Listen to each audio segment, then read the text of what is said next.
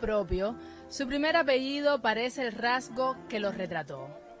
Cuando se escriba ese apellido, la palabra completa debería ir en mayúsculas, porque raras veces los seres humanos llevan desde el nombre un atributo tan distintivo, leal.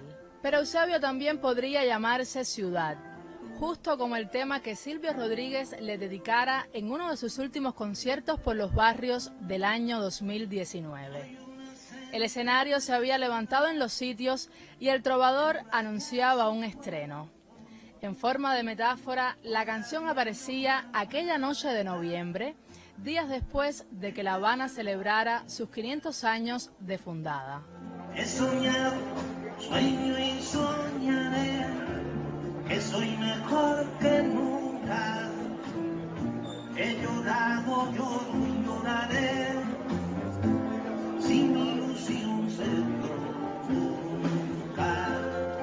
Existen muchas semblanzas posibles para describir la existencia de Eusebio Leal.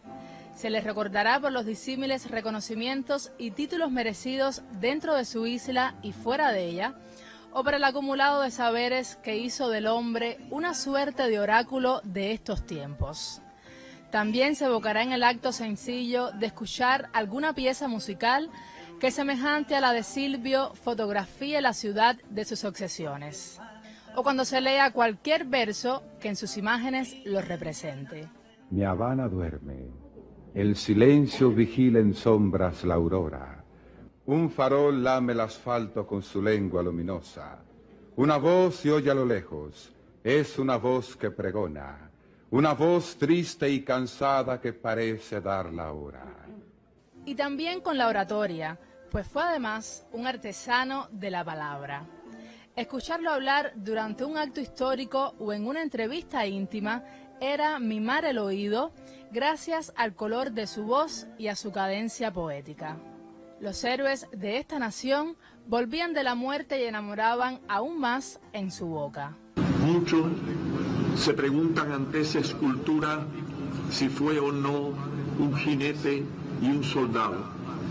En realidad, desde su primera carta, escrita a su madre desde Anábana, donde se hallaba junto a su padre, designado allí celador custodio de aquellos grandes terrenos próximos a la ciénaga de Zapata, habla de que engorda y cuida a su caballo.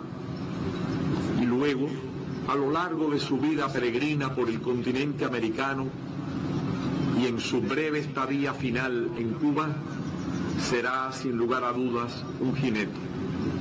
Es el corcel blanco que le traen en nombre del mayor general José Maceo para que lo luzca en la revolución.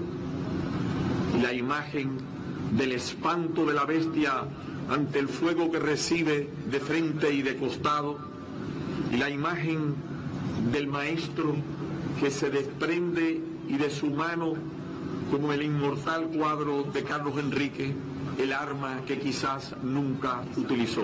Con las alocuciones expuestas durante todo su existir, podríamos conformar una antología de discursos en los que las ideas de Eusebio Leal se vistieron siempre de vida y de belleza.